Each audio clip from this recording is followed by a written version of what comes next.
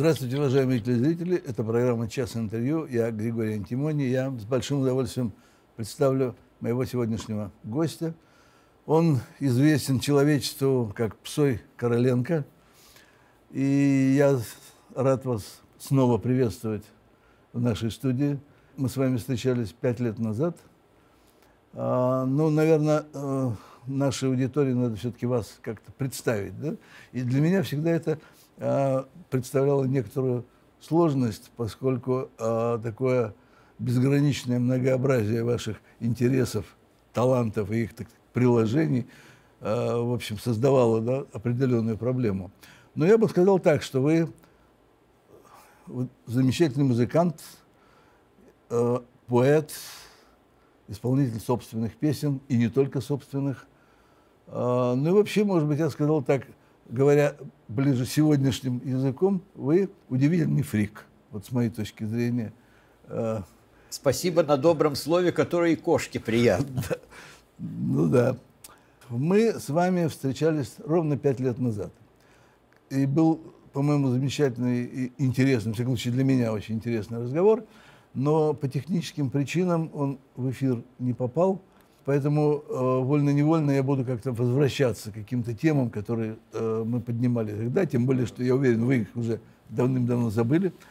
И начать я хотел бы э, традиционно, наверное, с того, что мы нырнем в ваше детство.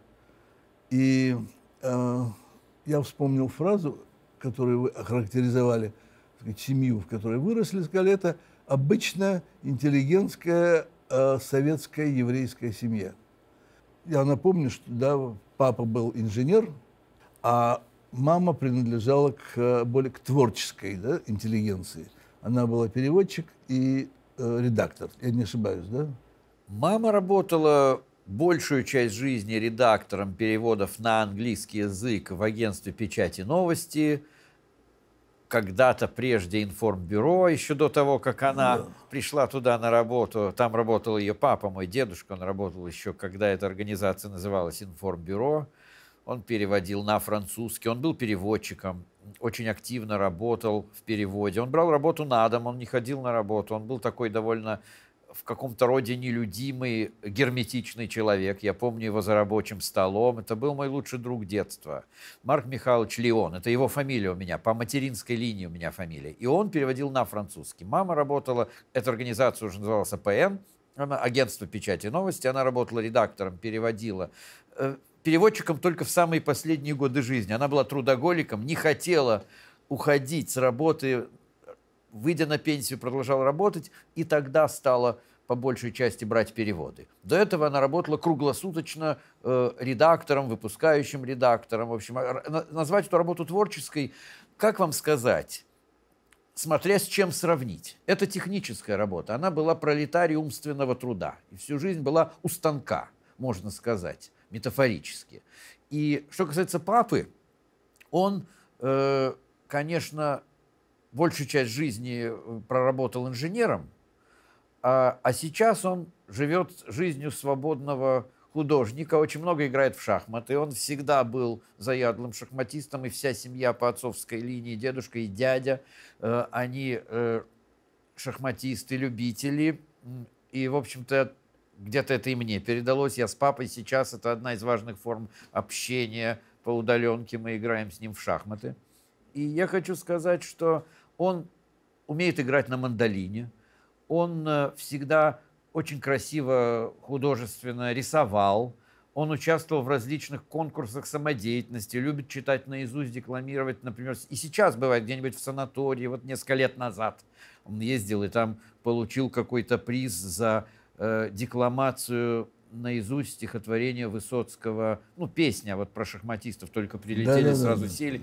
Он поет, у него хороший голос. То есть он как раз э, у нас в семье считается таким человеком, который гуманитарий по духу, артист по духу, который по каким-то советским причинам стал вот этим вот, как простой инженер, как вот Райкин в его миниатюре говорит, и всю жизнь работал, так сказать, как тогда говорили, на свои 120.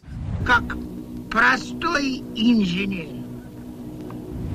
В основном больше всего он любил чертить, вычерчивать на ватман, кульман. Я тут этот анекдот вспоминаю. Нет у вас ватмана? Нет, у нас таких нет. Да нет, я для кульмана. И таких тоже нет. Вы не поняли, я дизайнер.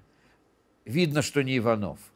Но вы знаете, дизайнер это какой-то анахронизм. Тогда этого слова Ну нет. да, да, Нет, да, тогда да. такого слова не было. Анекдот явно придумал позже. Ну, кто сказать, кто из них был физик, а кто лирик в терминах, вот кто это, Да, да, Слуцкий да, да, придумал. Слуцкий, Трудно да. сказать. Они оба были и папа, дай бог ему здоровья, есть, и физики, и лирики. Каждый по-своему.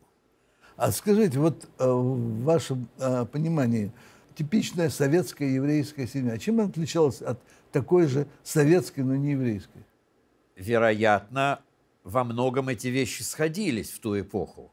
Многое еврейская секулярная культура, еврейская народная культура, еврейская культура рабочего движения начала XX века инвестировалась в советскую жизнь прямо или косвенно, особенно в некоторые формы популярной культуры, массовой культуры, например, таких вещей, как песня, театральная песня, кинопесня, детская песня.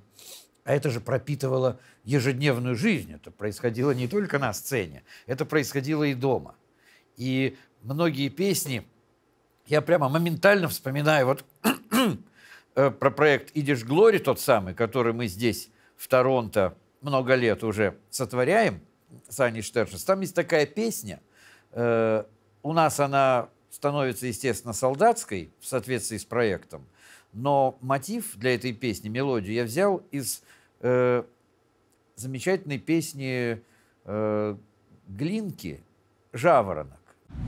Песня эта называлась э, «Вы немцы», и э, придумана она была Бертой Флаксман из Житомира. И сейчас вы услышите эту песню, я э, узнаете эту мелодию, о которой я ничего не скажу пока, но выбрана она была для этой песни не случайно.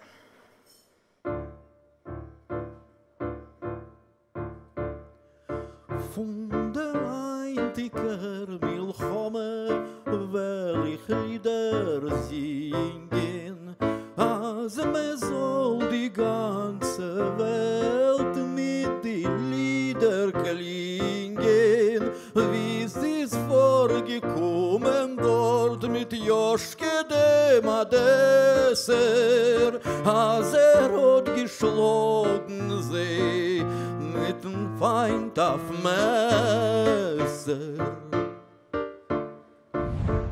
между небом и землей жаворонок вьется. Потому Да-да, что да. бабушка пела мне ее, это папина мама, у нее тоже был прекрасный голос. Она, вообще все мои бабушки и дедушки умели хорошо петь. И бабушка мне пела между небом и землей жаворонок вьется в качестве колыбельной. А ведь песня это серьезная, ее такая, ну, в русской культуре, и в русской, и в советской. Эту песню сразу принялся играть Ленин Владимир Ильич, когда Лев Термен привез ему показать свой Инструмент. новый инструмент, ни больше, ни меньше. То есть эта песня пронизывает два века русской и советской культуры. Еврейская она является лишь постоку поскоку, поскольку, с одной стороны, для Глинки она не была еврейской, но в одной из его авторских программ, которую он сам лично исполнял, имея прекрасный тенор, она шла сразу же после еврейской песни. Я вспоминаю текст. Это песня на стихи кукольника, но это перевод из Байрона. Это песня про то, как пал туман на долину, и там в рифму идет Палестину. Я вам сейчас не смогу, к сожалению, продекламировать с самого начала до конца. Я закончу свою мысль непременно, потому что это очень важный контекст. Очень важный контекст. Для Глинки еврейский фольклор был важен, он его изучал, как и все народные фольклоры. Есть такой некий непрерывный континуум, который связывает все фольклоры, я считаю, и русский, и еврейский.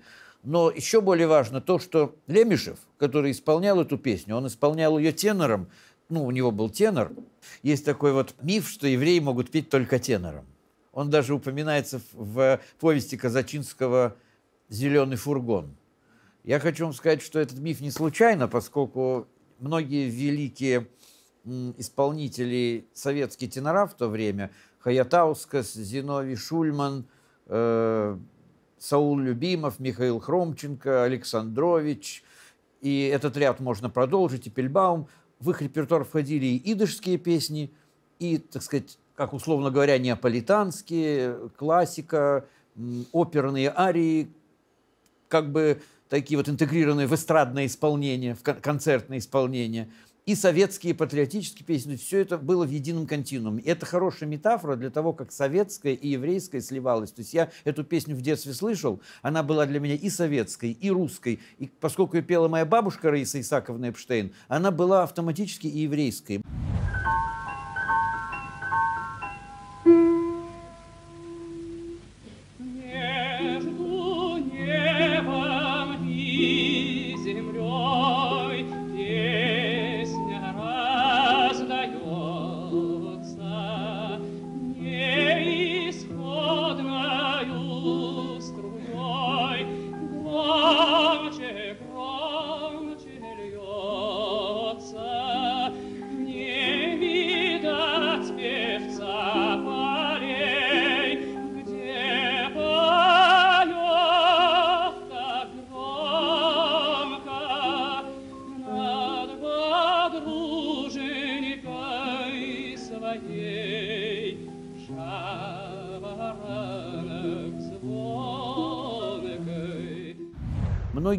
Эти песни, это был единый континуум. И Лемешев, и Хромченко. Это все как бы такая река, река, которая течет, и в ней, вот как светлой памяти, к сожалению, э, замечательный и очень любимый человек, художник Александр Ройтбурд, рассказал мне как-то анекдот. Умирает старый еврей, к нему приходят... Ребе, ему приходит длинная очередь, хотят задать ему вопрос последний, просят, чтобы он поделился мудростью. Вот так. Он говорит, жизнь – это река. Все шепчутся, почему река, почему река? И ему передают вопрос, ну почему река? Он отвечает, ну не река. Понимаете? И Саша Ройтпурт, он очень любил петь советские песни. Иногда в этом была какая-то полуирония, иногда в этом была какая-то полупародийность, но в этом было еще и то, что уважение к этой прекрасной музыке, к этому определенному такому вот советскому большому стилю, который пронизывает вибрации. Многие реки впадают в это море. И в том числе еврейская вот эта э, Тайхала, еврейская речушка. Понимаете? И для моих родителей это тоже было важно, прямо или косвенно. Спасибо за такой интересный исторический экскурс, но я хотел понять, как это, вот это все, о чем мы говорили, как это трансформировалось или отражалось в жизни вашей семьи конкретно. Понимаете, я когда хочу ответить на этот вопрос. Мне трудно сразу что-то вспомнить. Пока я буду думать, вспоминать, обмусоливать в голове. А пока я помню так. Определенный выбор слов. Э, мои родители, естественно, москвичи, говорили на идеальном правильном русском. В нем не было никаких следов идыша. Но если ты лингвист и как бы очень хорошо владеешь материалом, лингвист в душе, я профессионально никогда лингвистом не был, можно проследить и увидеть, что некоторые слова несут в себе следочек идыша в предыдущих поколениях. Например, из двух синонимов выбирается тот синоним, который чаще использовала бабушка. Оба эти синонима прекрасные русские слова. Можно сказать удариться, можно сказать стукнуться. Понятно. Но можно сказать положил в карман, можно сказать спрятал. И то, и другое будет прекрасный литературный русский. Но одно из этих слов будет потому, что бабушка его чаще употребляла, а она его употребляла, потому что у нее был идыш на слуху. Это все уже забыто, а следочки вот эти, если копаться, можно их найти, и это будет какие-то совсем почти такие забытые тропы. И вот не столько даже предпочтение чего-нибудь непосредственно еврейского, сколько выбор из двух вариантов какого-то сравнительно более куда-то утекающего я, кидышу. Я понял. да, да? Я понял. Горных стран пал туман и покрыл ряд могил Палестины. Прах ждет веков обновления, Ночи тень сменит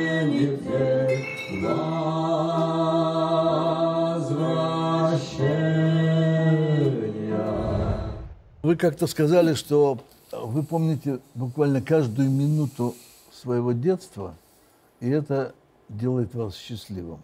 Вы действительно считаете, что вот, скажем, счастье в будущей жизни заложено в детстве.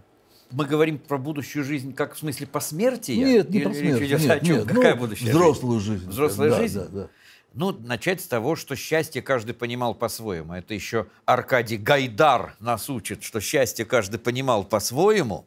А что это значит? А Козьма Прутков ему вторит. Хочешь быть счастливым, будь, Будь им, им. да. Я слово счастье не очень люблю, поскольку счастье это как бы про то, что мне должно быть хорошо. А я люблю больше слово радость. Это некоторое непосредственное чувство, которое или есть, или его нет в этот момент. Бывает, что и грустно. А счастье – это я, я счастливый, как счастливый или нет? Я благодарен. Я испытываю благодарность за все, поскольку в жизни очень много прекрасного и мудрого, и все чему-то, любой опыт чему-то учит. Детство, как сказать, в нем были разные страницы. И травмы, как теперь модно говорить, очень важное слово в современном 21 веке. Но что такое эти травмы? Это опыт. Они э, подсказки какие-то дают на будущее в том числе. А, конечно, радость узнавания, так сказать, все вот эти вот первые разы, первое то, первое все, это все в детстве происходит. Оно, конечно, вдохновляет, возможно, и на всю жизнь. Только человек это не осознает, как правило. А если пофилософствовать, порефлектировать, мы это можем всегда выкопать в своем сознании и снова возблагодарить. судьбу. А травмы вы помните? Травмы, конечно, я помню. Я ехал как-то на велосипеде трехколесном, и как полетел с него, разбил себе лоб, разбил себе нос, разбил себе губу. Возможно, было даже маленькое сотрясение мозга. И я помню, как тетя Нина, там на даче, это было в Болшеве, она меня подняла и стала говорить, ах ты, ласточкин хвостик. Она мне так стала как бы ласково так говорить, я это запомнил. Ласточкин хвостик. Это была мощная травма и психологическая тоже, потому что я впервые столкнулся с болью и внезапностью, с опасностью, с барьером. Эта травма не сводима к тому, что я рассказал, разбил нос, губу, иначе бы я не запомнил. Это еще и встреча с болью, какая-то встреча с э, неожиданностью, встреча с реальностью, если угодно. Но тут же был и человек, который меня приласкал. Это даже были не родители. Так случилось, что это была сравнительно чужая женщина. Вспоминая все, что я слышал о вас или от вас, э, вы всегда акцентируете на том, что больше всего в детстве вам дал ваш дед. да? А родители как-то, в общем, э, ну, это, э, я бы так сказал, я ни нигде не встретил упоминания о том, вот мама меня научила этому, папа мне дал это, а дед был да, фигурой номер один. Как это произошло? Почему так? Вероятно, это связано с тем, что родители были на работе.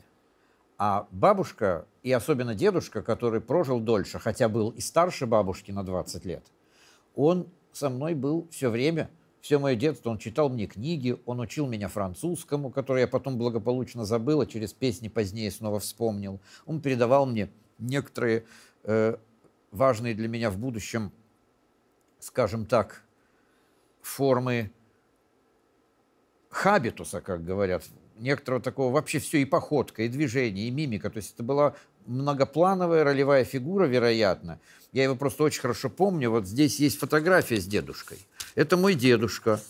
Вот сейчас я его найду. Вот он. Вот, вот, вот. И бабушка здесь. Вот я с ними стою, вот это мой дед, Марк Михайлович Леон. Я его назвал Буйвол, потому что он читал мне книжку про диких зверей, там были буйволы. Мне это слово понравилось, и я его стал так звать, а он смеялся, разрешал мне. Бабушку тоже назвали каким-то животным, но я забыл потом, каким, и как-то это потом просто бабушка звал. А, и он так и остался Буйвол, только я не знал, как пишется это слово.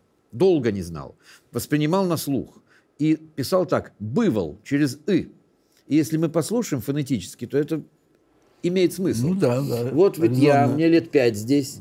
Это мой дедушка, это моя бабушка. И понимаете как? Э, Это мой друг. Он меня очень много научил. И вот это тоже мой друг детства. Кот. Кот, ну как кот? Митя был больше, чем кот. Это существо как бы очень многоплановое, очень многоуровневое. Он прожил со мной всю детскую жизнь, всю юность. И я не буду говорить, что он научил меня играть в шахматы. Это научил меня папа. И до сих пор это сейчас со мной, потому что это очень важное упражнение ума и важная семейная струна. И, кстати, очень еврейская в Советском Союзе, но и советская, и общечеловеческая, к вашему тому вопросу. Ну да. Если говорить о вашей а, последующей жизни, да, прежде всего о музыке, что вам дал дед? Он меня, во-первых, влюбил в музыку. Я у него на коленях прослушал огромное количество музыки, прежде всего в жанре, который стал моим, в жанре песни. И более конкретно, это был в больших количествах французский шансон, одно из основных влияний для меня, как для автора, как для артиста. В конце концов, вот этот даже альбом «Гибиар» – это любимый певец моего деда. Это шансонье, который немножко забыт был до какого-то времени, пока мы, так сказать, с друзьями моими, близкими товарищами не восстановили его культурную репутацию, по крайней мере, в русскоязычном мире. Хроники аналоговой жизни. То есть тут мы вспоминаем детство, вспоминаем себя маленькими. Здесь все участники проекта изображены маленькими детьми. И GBR – это мое такой, не знаю, гештальт или импринтинг, или как правильно сказать, это была мечта годами, десятилетиями. Мне приснилось однажды, что есть какой-то невиданный его альбом, который никогда никто не видел, не слышал. Это детский сон. Там было, я помню, что там было слово «люазо», «птица», и я хотел, чтобы там была какая-то птица. И, вы знаете, годы прошли на то, что я и перевел его песни в соавторстве, или сам некоторые из них, и э, стал в каком-то смысле душой проекта по переводу его песен. Это для меня также и дань, будем по-французски говорить, оммаж моему дедушке, не только памяти, но и присутствию. Кстати, и маме тоже, потому что и она это наследие очень любила и ценила, и она умела тоже играть на фортепиано. Всю юность проиграла на скрипке, одно время думала о такой карьере, но потом, когда родился ребенок, вы понимаете, о ком я говорю? Ну да, вы же единственный, единственный в семье. да. Как-то это уже пришлось немножко отодвинуть, к сожалению. Но как бы то ни было, как бы то ни было, это все, вот эта часть семьи мне передала. А отцовская линия и бабушка по отцу, они мне тоже передали. Они тоже любили петь и играть, они тоже были музыкальные, хотя это, может быть, не позиционировалось так э, настойчиво, как в случае дедушки моего, потому что он мог сесть за рояль и начать играть по нотам. Я знал, что по нотам я так играть не научусь никогда, но зато, может быть, я научусь, как тогда в те говорили, подбирать. Да, да, да, подбирать да. я научился, и мне мама советовала, подбирать научишься, будешь душа компании. И это точно. И по это по тем вот- временам, да, абсолютно. Это тоже вот, вот к тому, что дали родители. И мама, и папа, они меня научили в том числе быть душой компании. Скажет папа, скажет мама, скверно ты себя ведешь. Во мне и дела мало, знаю, на кого хочу я быть похож. На того, кто мне читает, мысли вслух, кто мне песенки внушает, от которых вам захватывает дух.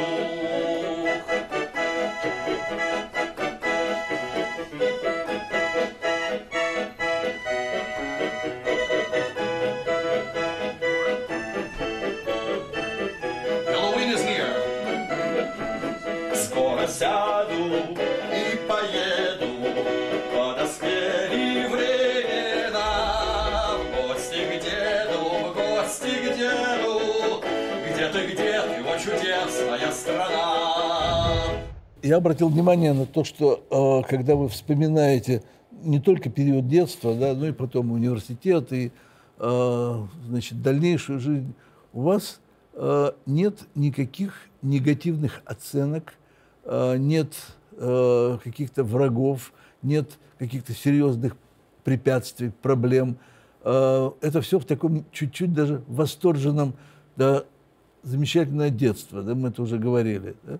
А, Потом э, благодарность музыкальной школе. Она мне много дала, там все было прекрасно.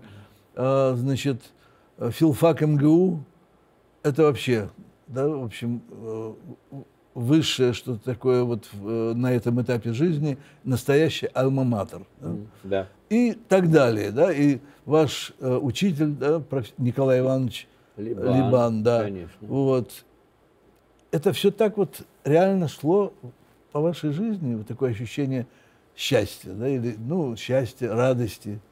Нет, там было очень много, было очень много э, всякой чепухи. Но это как ногти, я их обстриг. И сейчас продолжаю стричься каждый день. Это гигиена. То есть это такое ваше жизненное кредо, да, так к этому относиться. Тут я вспоминаю Кису Воробьянина. Ваша жизненная Да, кредо да, да, всегда. да, да, да. Или кто или Нет, это, это- это не Воробьянин. А да, кто это Остап? А, это эти вот, правильно, это Союз меча и орала. Да, ваши, да, правильно, да, этот самый да, Кислярский да, там да, были, да. Э, Ваше политическое кредо всегда. Так вот, ваше кредо. да, Всегда. и- Именно так относиться к жизни? Э, Мне кажется, это просто разумно. Это все равно, что мыться, бриться, стричься, вот в сравнении с ногтями не случайно же. Это же все клепот. То есть какой смысл их обсасывать? Точнее сказать, все, что они полезного могут дать, они дают. Весь этот опыт травматичный, э, так сказать, эм, энтропийный какой-то, знакомство с реальностью, с ее изнанками различными, с ее, так сказать, всевозможными скорлупами. Это чрезвычайно полезно, такое сказать, все-таки информирует тебя о разных степенях реальности. Но есть среди этого есть реальность, а есть еще и кое-что другое. Есть наши реакции, которыми можно овладевать, и они могут быть другими. Точнее говоря, это не значит, что там запрещено быть недовольным, упаси Боже, что запрещено отвечать «нет» миру там в каких-то его аспектах. Нет, безусловно, это тоже все необходимо. Надо дать место и гневу, и отторжению, и развлечению дурного от хорошего, дружественного от недружественного. Но, во-первых, необходимо экономить эти отрицательные ответы. Их нужно, во-первых, приберегать для действительно очень плохих вещей. Что если мы будем реагировать вообще на что попало, преимущественно негативно, то это и эпоха индивидуализма, в общем, к этому подталкивает э, наше новое время и постновое время, но это чрезвычайно опасно и неразумно. И прежде всего мы растрачиваем эти силы, и когда нам нужно действительно, может быть, даже где-то дать отпор, мы забываем это сделать. Получается парадокс. А нам надо правильно распределять, различать действительно какие-то вещи. И кроме того, владеть нашими реакциями. Владеть нашими реакциями. Не, не то, что надо быть каким-то в розовых очках, или добреньким, или каким-то там искусственно благостным. Нужно просто стремиться к целостности, некоторому целомудрию и благоразумию. Тогда у нас будет сравнительно адекватный ответ на реальность. Идеала не будет. Я не пытаюсь представить дело так, что я достиг какого-то там идеального, упаси Боже, баланса. Во-первых, это каждую минуту может измениться. Нужно по возможности следить за собой, а где-то и отпускать себя. Тут я уже вот вижу, что начинаю говорить банальности. Это знают все люди на свете. Я ничего нового, никаких Америк Ну, тут не э, открою. Да, одно дело, так сказать, э, понимать эти банальности, другое Банальности. дело жить вот, да, в таком понимании. Это, это, это немножко разные, разные вещи. Понимание Понимать, да. лучше, чем непонимание. Ну, это да, я с вами согласен. Как-то вышел погулять дядька на прогулку. Глядь, тетка тащит булку. На-ка булку укуси, чем тебе не пончик? Он в ответ ей громерси. Но есть один закончик, я тебя не трогаю, и ты меня не трогай. Иду своей дорогою, иди своей дорогой, я тебя не трогаю, иду своей дорогою, и ты меня не трогай, иди своей дорогой. Скажите, вот э, в университете вы э, свое будущее видели как э, преподавателя, э, как филолога и преподавателя? Не, в университете я жил моментом. Пойти на сачок, так называлось, э, ну, место на первом этаже, где все тусили, общались. Пойти на лекцию, не пойти на лекцию. Э, где-то переночевать, с кем-то пообщаться, прочитать какую-то книжку. То есть я, конечно, не думал ни о каком будущем тогда. Такого слова не было в голове. Ну хорошо, но все равно э, вы э, окончили аспирантуру, да? Решил поступить в аспирантуру. да. Николай Иванович, вот Либан мы сегодня вспомнил, он мне посоветовал, говорит, обязательно идти в аспирантуру. А что изучать там? Ну, Короленко, он сказал, вы же только его читали. Он имел в виду, что я приличную библиографию составил только по этому писателю. То есть, скажем так, его я прочитал относительно полное собрание сочинений, по крайней мере, так должно было быть. Поэтому он сказал, что ты читал только его. Ну вот это для меня тоже очень э, сказать, загадочная история, э, поскольку, ну, скажем так, замечательный человек, да, Владимир Галактионович, Короленко, да? Короленко, да. говорим. Ага. но, в общем, строго говоря, это писатель так условно, скажем так, второго ряда. Да? А кто эти ряды строит? Ну, мы строим в своем восприятии да, литературы. Влияние, да. на нас влияют. Да. Про него не написали творцы вкусов тех лет. И нельзя сказать, что не написали. Сначала про него писали. В конце XIX века про него писал и Мережковский. Ему понравился сон Макара. Э, учеником с его в какой-то момент назвал э, себя Чехов. Точнее, Горький. Я говорил сейчас, но не случайно, потому что Горький и Чехов в нашем сознании очень часто сливаются. Я хотел сказать э, Горький, а сказал Чехов. Чехов не, не мог бы назваться учеником Короленко. Чехов сказал про Короленко глупость. Он сказал, что если бы Короленко хотя бы раз изменил жене, у него были бы лучше рассказы. Это глупость и пошлость. Это как бы здесь Антон Павлович изменяет вкус. Либо он шутит, но ну, такая шутка. А Горький в какой-то момент назвал Короленко э, своим учителем, ролевой фигурой. Нижегородский период Короленко он начинал то, что Горький потом продолжил. Вот известная фраза из э, э, произведения Горького «Человек это звучит гордо», многие смешивают со словами довольно-таки трагического персонажа Короленко, э, безрукого инвалида, которого выставляли на потеху Да, да, публики. я вот, помню. ну, вот это вот э, человек создан для счастья, как птица, для Птица для полета. полета. Это говорил именно без руки. Без руки, не инвалид, он да. говорил, да, он говорил, он Да. написал, да, он написал афоризм ногами и Да, раздавал. да, да. Так понимаете как, Короленко и трагичен, и в то же время он очень, как бы по-своему оптимистичен. У него есть довольно точный и строгий вкус, но при этом он очень демократичен и абсолютно антиэлитист, как теперь говорят, антиэлитарен. Он народен, и в то же время в нем нет этой нарочитой исконно-посконности.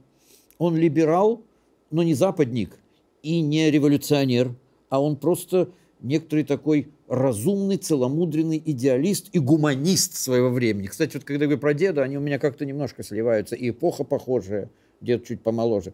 И вы знаете, для меня это просто очень важное, не знаю, как сказать, устремление, кавана, intention, струна. И я это очень ценю, и Короленко для меня, и его рассказы, они несут в себе это. Те, так сказать, ранги, табель о рангах здесь ни при чем. В какой-то момент его потеряли немножко для большого канона. Как бы по разным причинам. Про него не написали формалисты, потому что они любили авангард. А Короленко был упрямым реалистом в эту эпоху. Про него не написали еще какие-то советские авторы, потому что они были увлечены другими, там, более большими фигурами. Еще Ленин в какой-то момент там подкузмил, Да, да, так да, сказать, да. сказал про него нехорошее слово. И дальше уже как-то так про него стали писать, но уже он пошел больше в струе в традиции диссидентов. Про него писали как про правозащитника, как про общественного деятеля. Сформировалась некоторая не вполне правильная установка, что он больше политик или общественный деятель, чем или журналист, публицист, чем писатель. Хотя как очеркист, как новелист, как живописатель быта, как реалист своего времени и, как теперь бы сказали, постколониальный, но применительно к России, наверное, постимперский автор, открывающий характер, открывающий э, какие-то очень важные как топосы в культуре. Он первым написал вообще-то про Америку, без языка. Это первая повесть, э, написанная русским по Америке. Он первый был из тех, кто побывал в, Штатах, в Северной Америке. Я не помню точно сейчас, был ли он в Канаде, может, даже и в Канаде он был. И он писал, знаете, про это. То есть про то, что сейчас важно. То есть он писатель 21 века. Вот эти каноны 20 века, которые выставили транжир, где что считалось крутым, что считалось более простоватым, это ведь все сейчас все равно перемешали. Посмотрим, какой сейчас канон. Короленко, может быть, в каком-то смысле или он, или другой такой, он ждет своего часа. Поэтому я рад, что ношу его имя. Ну, хорошо. Кстати сказать, история с э, именем Псой, она достаточно широко известна, да, поскольку вы это не раз об этом рассказывали. Ну, может быть, э, напомнить нашим да, Я могу говорить об этом да. часами, но скажу Ну, кратко, коротко, что да. из шутки писателя э, в, мемуарно-эпистолярных текстах он говорит, что его могли бы назвать таким забавным на современный слух именем Псой, поскольку это имя одного из святых, а оно есть в святцах, а в семье называли всех именами, пусть и редкими, Галактион, отец, Иларион, брат. Также и он пишет, мог бы быть и Псоем, если бы родился в день Святого Псоя. Ну, понимаете, а Святой Псой, Псой египетский – это один из основоположников монашества, и в этом смысле дается и некая высокая серьезность, есть в этом имени, уводящая, так сказать, в глубоко в православную традицию, а с другой стороны она принадлежит миру комедий, как, скажем, Островского, Сысой Псоич, похоже на пес. Получается такой конфликт высокого и низкого диалекта. Мне очень понравился. Я вот это Псой Короленко, вот я подумал, что так, наверное, можно называть подобного автора или коллектив, в котором он участвует. И так уже много лет назад. Это очень быстро стало моим, я называю это именем сценическим, слово псевдоним я не люблю. Ну, давайте перепрыгнем э, эту историю и э, поговорим о том, когда вы запели. Ну, я запел вот, э, наверное, в школе. В школе. Я стал участвовать в школьной самодеятельности. Скоро будет, если я не ошибаюсь, 30-летие поездки небольшой группы школьников, включая меня, э, в поселок Вензели Тюменской области в рамках некоего проекта, который, э, в который наша школа участвовала совместно с э, журналом «Юность». Под эгидой журнала «Юность» группу школьников отправляли на стройку Уренгой-Ужгород в качестве такой своеобразной детской агитбригады, как бы с элементами культуры стройотрядов тогдашних. И там как бы была и прополка, и прорубка сосенок, но обязательно была самодеятельность. Мы должны были писать песни, совместно с местными школьниками делать определенные капустники, определенные программы. Для меня это была первая поездка за пределы Москвы. Вообще первая поездка без мамы и без папы, без бабушки, без дедушки, а с группой, с коллективом, с людьми, да еще и в Сибирь. Это было путешествие на поезде, оно навсегда оставило впечатление для меня. И сейчас вскоре будет что-то вроде юбилея вот в этой школе будут э, готовить серию, э, как бы, не знаю, презентаций, что ли, про эту историю.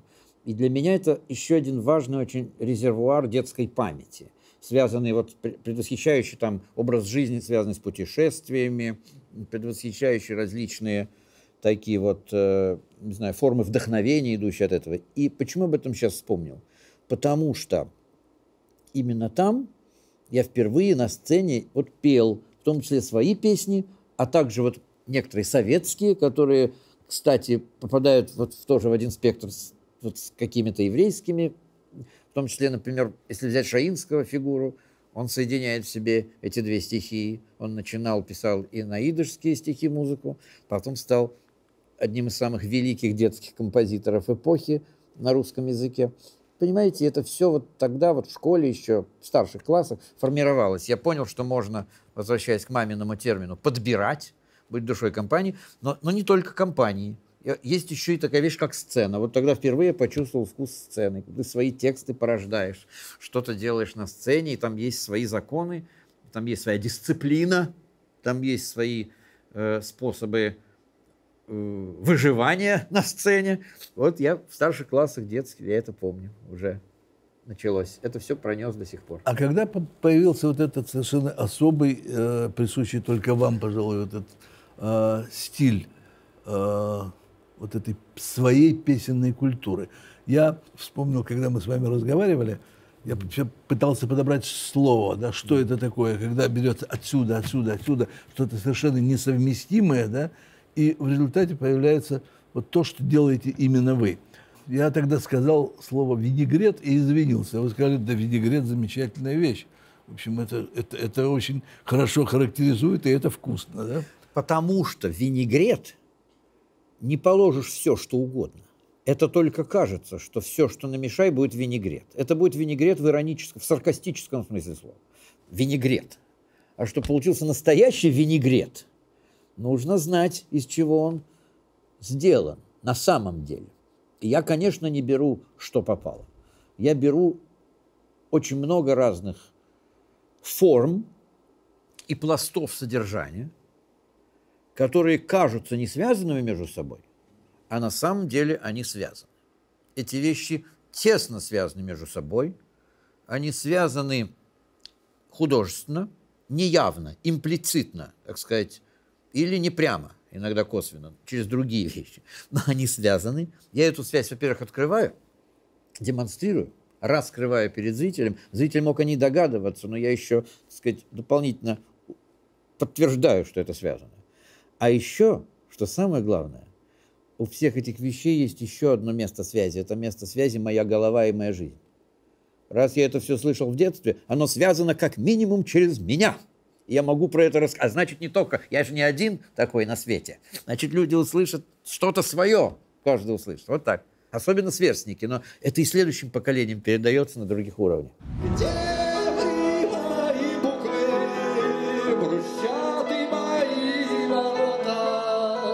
Живыми стали вдруг вы, выходит навстречу кто-то.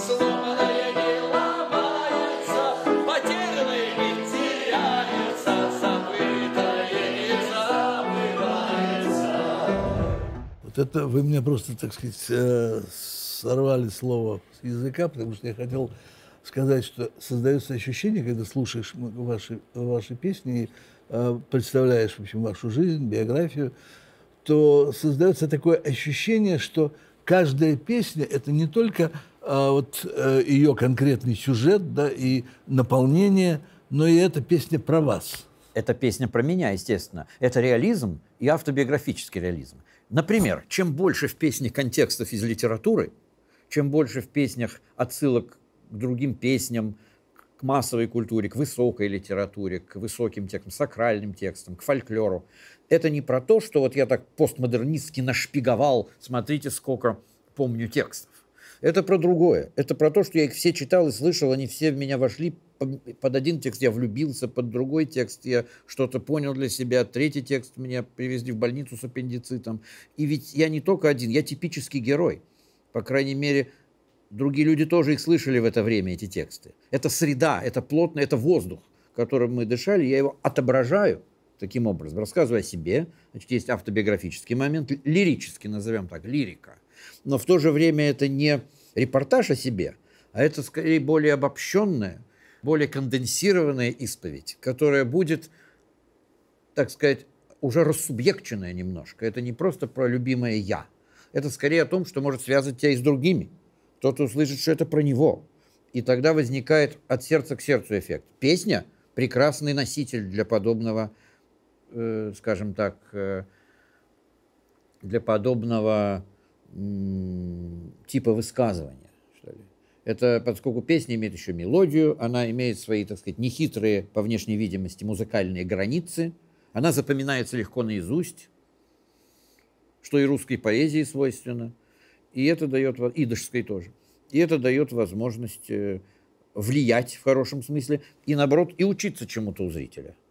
Ну, это, да, это, в общем, я примерно представляю. да.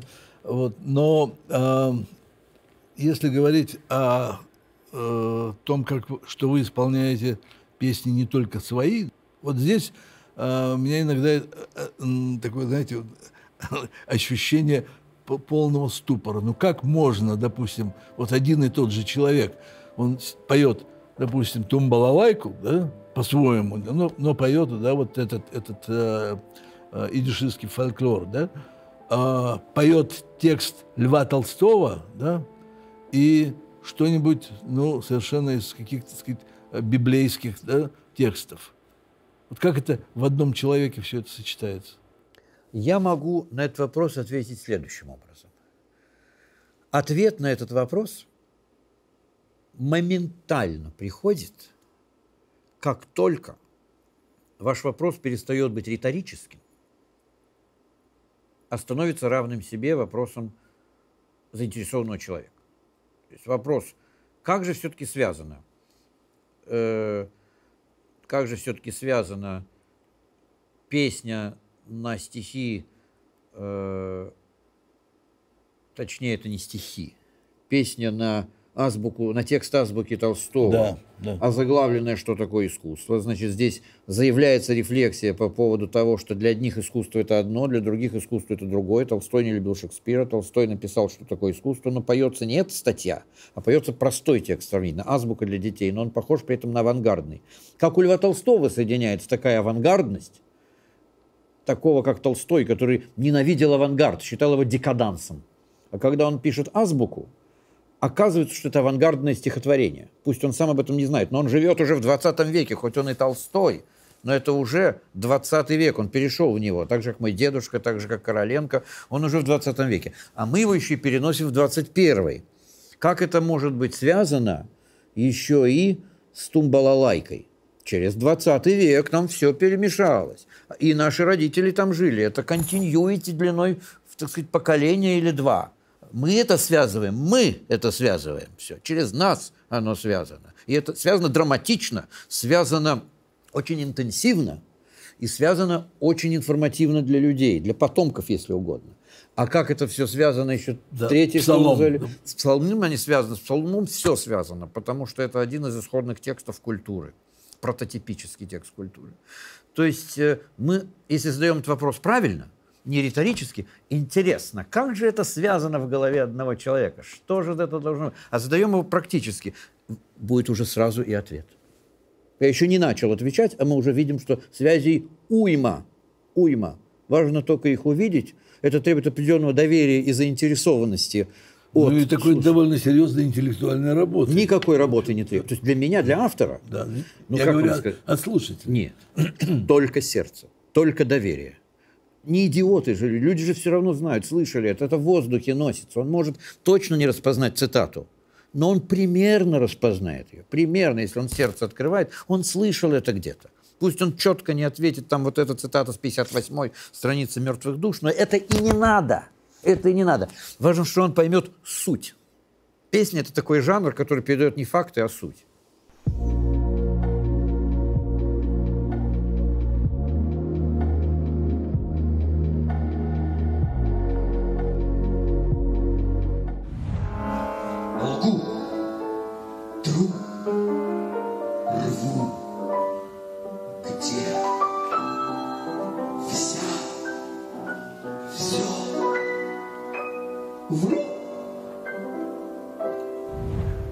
Скажите, вот как э, публика воспринимала ваши песни, когда все это начиналось? очень странные, новые, неожиданные песни. Давай, почему ты их не запишешь? Таких песен еще не было. Давай пой, что ты все в компании поешь. Надо спеть уже где-то, где люди это услышат. Я вдруг обнаружил, что домашние записи переписывались с кем-то. Естественно, это Да, меня... уже была магнитофонная... Конечно, Да, меня это обрадовало и так сказать, вдохновило. Я подумал, что действительно, почему бы нет.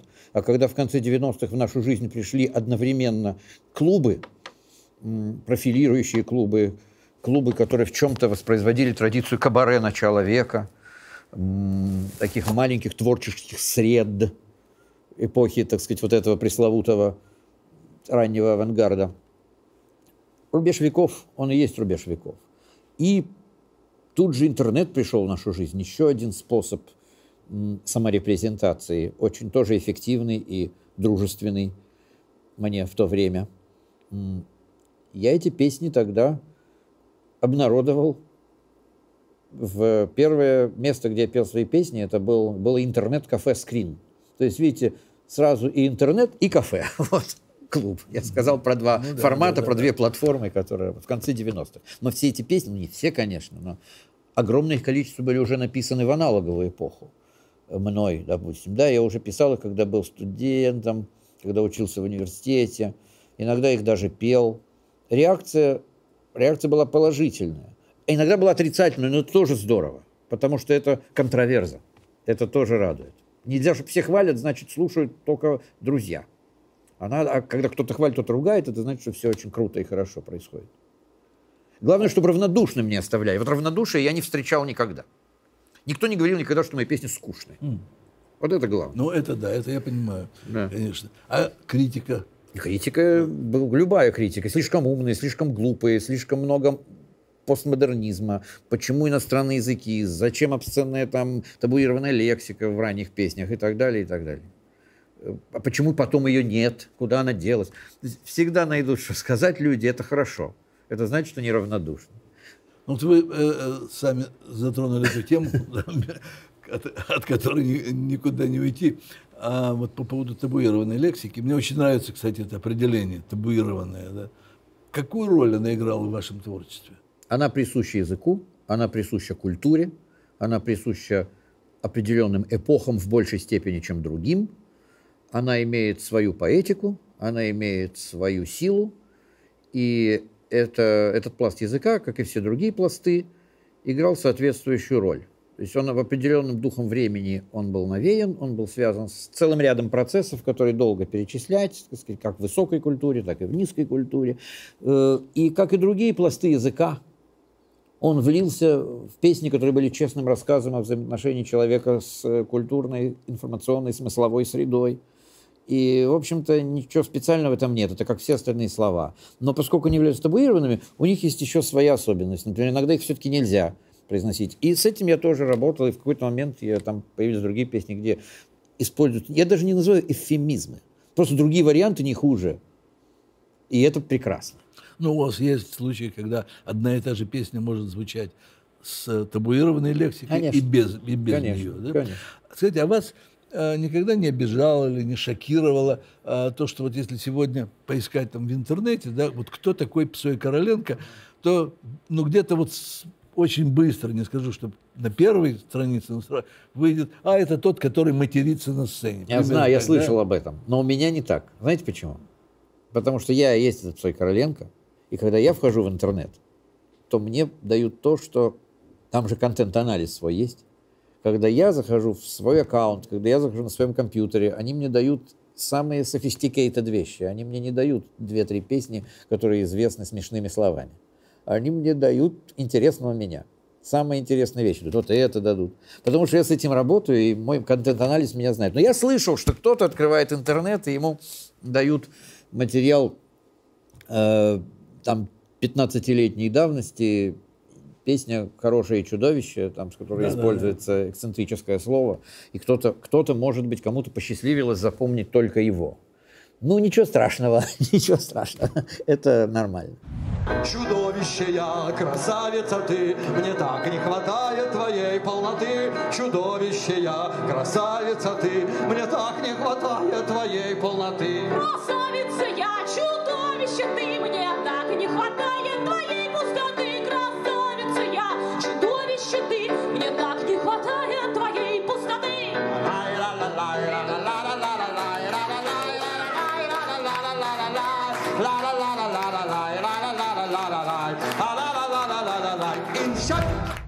Мне это немножко напоминает ситуацию, скажем, э, с ранними песнями Высоцкого, да, которые, от которых он, кстати, никогда не отказывался, вы знаете, это прекрасно. Нет, да? какой смысл считаю, отказываться? да, И я не отказываюсь ни от чего, песни, это такая своем высший месте. уровень стилизации.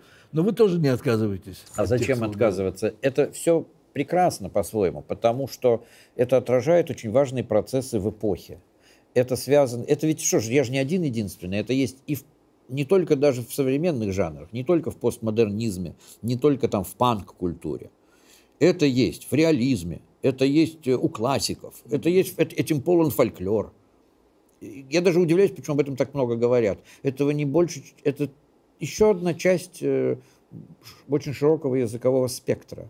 Меня вот этот вот подход э, очень заинтересовал, поскольку э, вы, э, вот говоря о уместности да, э, использования э, этой лексики. Как и любой э, в- другой, да, как и любой да, другой. В, в том или ином, скажем, литературном направлении, вы, скажем, сказали, что э, для бардов это абсолютно не свойственно.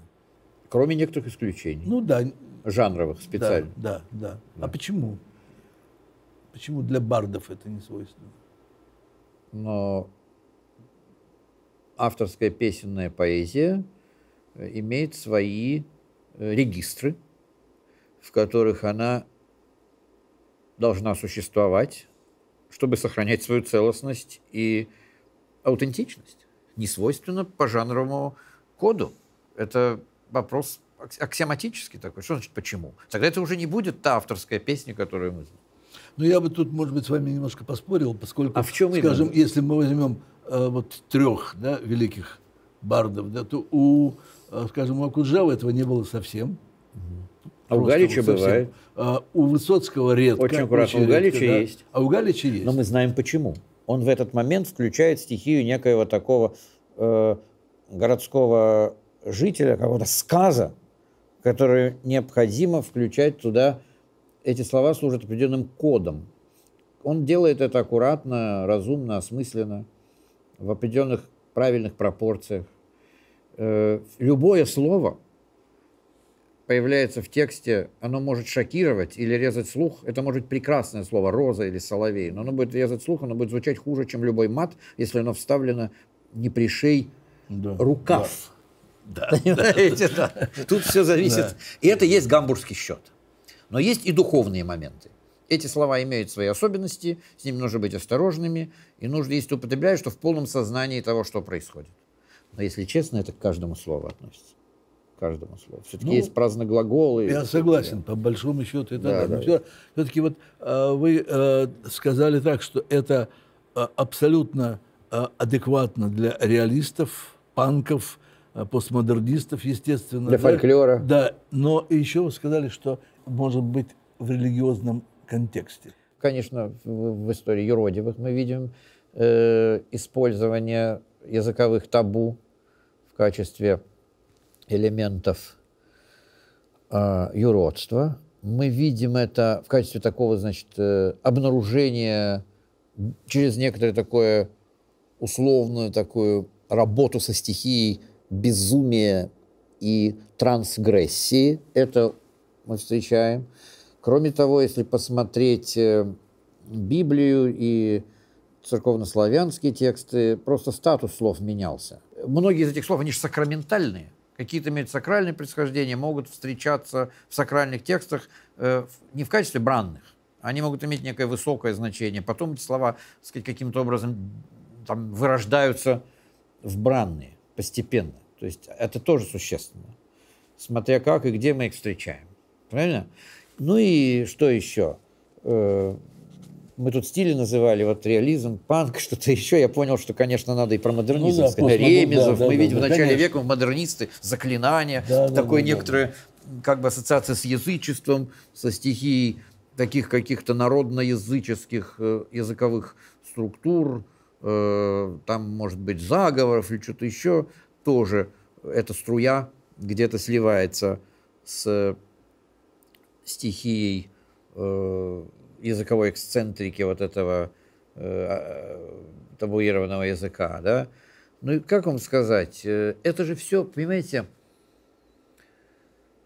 язык это очень широкий спектр, в нем есть все. Главное, это тот момент, когда ты работаешь со словом. Что именно ты хочешь сказать? Где ты хочешь нарушить табу? Где ты хочешь соблюсти? Это всегда вопрос твоей собственной дисциплины, твоего выбора, но еще и чутья к контексту. Ты должен все-таки говорить не стенки. Ты общаешься с людьми. Или ты общаешься с ноосферой, с другими текстами. Как бы входишь с ними в диалог. Мы говорим о гамбургском счете, это обычно вопрос э, вкуса, баланса, золотого сечения. Так просто не решить. Но не должно быть отговорок. А, это у меня такой просто стиль. Это всегда звучит как нелепая отговорка. Тут нужно твердо стоять на ногах, знать, что ты делаешь, понимать ответственность. Понимать ответственность перед искусством, между прочим. Основная этика для художника – это гамбургский счет.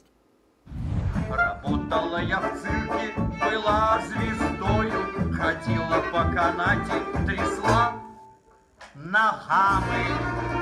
Байрак, бай, бай, в семнадцатом году. Байрак, бай, бай, в семнадцатом году. Была я белошвейкой и шила платье, теперь служу в театре и стала актрисой. Байрак, бай, бай, в семнадцатом году. Максим Кронгауз говорил в одной лекции, мне очень понравилось, он сказал, берегите мат. Это табуированные слова, их нужно употреблять крайне редко, иначе портится язык, портится мат от слишком частого употребления. Я, может быть, своими словами пересказываю, но мне эта мысль очень понравилась. Хорошо, давайте о другом. У нас на первую передачу осталось там пять минут. Вот э, вы очень широко используете в вашей музыке и в текстах э, заимствования. Самые разнообразные. Вот э, что это такое для вас? Я считаю, что это отличительный признак искусства. Искусство, в котором нет заимствований совсем, это чаще всего не искусство, поскольку искусство – это непрерывный разговор сотен разных людей, которые создают формы и передают формы. Все искусство построено на заимствованиях, на диалоге, на сквозных мотивах, музыке семь нот, поэзии семь слов и производных от них, условно говоря. Я не говорю сейчас про обсценную лексику. я вообще, в принципе, понятно, Поэтому да. я говорю, что, конечно, если нет заимствования, это я не люблю слово графоман, я вообще не люблю вот этих слов стигм, да? Но когда нет никаких заимствований, это странно. Это, не будем называть графоманией, плохое слово, но будем говорить, это какой-то, скажем так, в какой-то капсуле человек в своем соку, он велосипед тогда изобретет, либо вообще ничего не сможет сказать. Это я просто говорю на общем языке с другими авторами, а у них уже есть какие-то пласты языка, которые я использую. Это идиомы, это аксиомы, тот язык, на котором мы говорим, как ноты в музыке. Это есть не только у меня, это есть у любого автора. Может быть, я делаю это в каких-то песнях более откровенно. Это, в свою очередь, связано с влиянием определенных э, авторов и течений. На меня очень сильно повлияли поэты, э, творчество которых я узнал конце 80-х, в начале 90-х, хотя они могли писать и раньше, и в начале 80-х. Например, Лев Рубинштейн, Дмитрий Александрович Пригов, э, Юрий Гуголев, Тимур Кибиров, который очень с песнями много работает, с Ну, текстами замечательный песен, цитирует прекрасно. И многие другие авторы русского эм, концептуализма последней четверти 20 века не меньше повлияли и такие элементы цитатности, игры языковой в произведениях э, классики XIX века. Весь Евгений Онегин состоит, ну, не весь, но пол Евгения Онегина состоит из цитат и центонов у Пушкина. И даже если мы не знаем, вот вы спрашивали, а что будет, если зритель не знает каких-то контекстов, должен ли он их знать? Но мы же не знаем, не всегда знаем, не все читали комментарии Лотмана и всех остальных комментаторов к Онегину. Мы можем не знать, что он цитирует, но мы чувствуем, что он что-то там цитирует. Есть вибрат, что-то курсивом выделил. Я на сцене интонации выделяю. Мы понимаем, что это все не, он не, не только от себя, он еще и передатчик. И любое искусство такое, искусство ворованный воздух, сказал товарищ Осип Амельевич Мандельштам. Ну, Знаете, вот для меня, вот э, в вашем творчестве, скажем так, а, когда я встречаюсь вот с заимствованиями музыкальными или те- э, в тексте, для меня это а, как, знаете, как какой-то вот маячок. Да? Ну, конечно, вот, а, маячки. это мое, да? Это, это Конечно. вот, да, э, он мыслит так, и вот это я узнал, Да. И что-то такое открывается совершенно по-другому. Это пруфы, Да, пруфы, да, ну это да, пруф. Пруфы сказать, реальности. Это Ну, вот и хорошо. пруфы. Да, да. Наше время подошло к концу, и э, мы обязательно продолжим наш разговор. А я вам напоминаю, что у нас в гостях был Псой Короленко, музыкант и филолог. Всего вам доброго, до следующей субботы.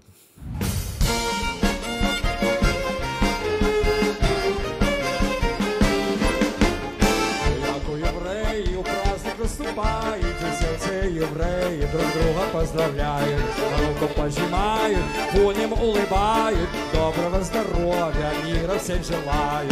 Как у євреїв Рожешові наступает, и сердце евреи до школи прибігають, до школи прибігають, ухи навостряють, як вас робить шойфу, по всі мечтають. Ой, ти наш